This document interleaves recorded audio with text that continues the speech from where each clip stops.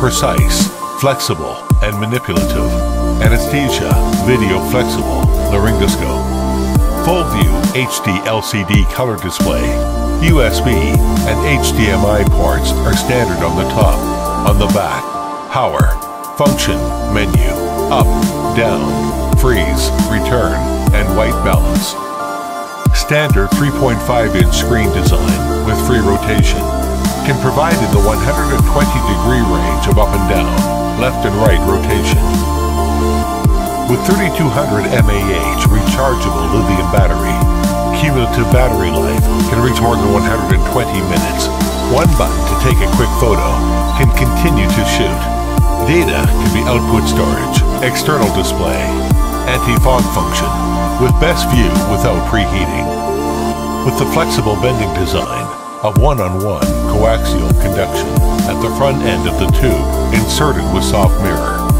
The visual range of 160 degrees up and 130 degrees down can be adjusted. Make the control more accurate, that the doctor's perspective more flexible, control at will. Four soft lens insertion tubes of 2.8 millimeters, 3.9 millimeters, 5.2 millimeters, 5.8 millimeters, with different diameters correspond to different working channels of 0 millimeters, 1.2 millimeter, 2.6 millimeters, 3 millimeters, and have IPX grade 7 waterproof function, providing a more perfect solution for more accurate and difficult endotracheal intubation and airway local anesthesia.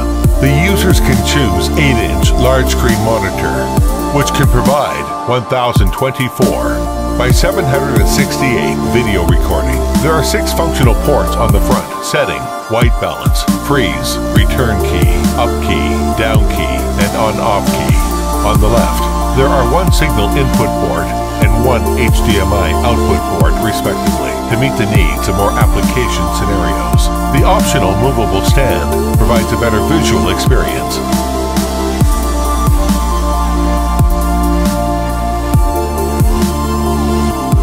HugeMed. Full range of products have obtained CE, FDA, and CFDA certification.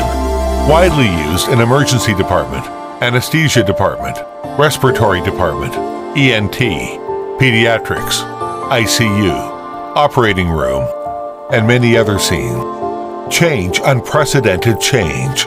Experience within reach of the future. HugeMed for the future video laryngoscope to lead the new direction of development.